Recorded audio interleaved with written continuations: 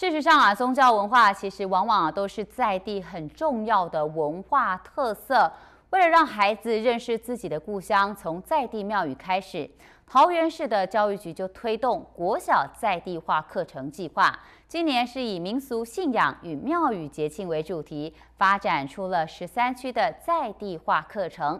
学生透过教材和 AR 实境导览，可以自主学习，还能回答问题，与其他学校的学生 PK 在地尝试。桃园市在地化课程教材发表会在桃园区景福宫庙城举办。这个计划由清溪国小主办，十三区中心学校参与教材的编写和导览实作。在地化课程共有十三册，介绍十三座信仰中心的历史文化和建筑等，提供学生跨领域学习。教育局特别哦，从传统的乡土教材出发，那么特别做了这个结合庙宇做在地化的课程。用一年的时间，我做了第一次的这个初步的这个教材。我们十三个庙宇呢，可以讲是都表达了桃园的特色。各行政区学校可以跟着在地化的教材规划户外教学，也能够使用 APP 进行远距离的三百六十度实境体验。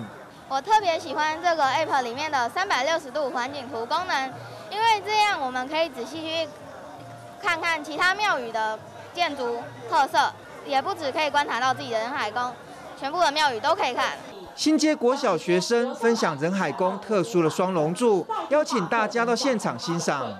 哦，我会特别推荐大家去参观人海宫的盘龙柱，因为人海宫的盘龙柱呢是两条龙，而其他庙宇宫庙的通常都是一一条龙的柱，人海宫的有两条龙，一个龙头在上，一个在下，非常的雕刻的非常细致。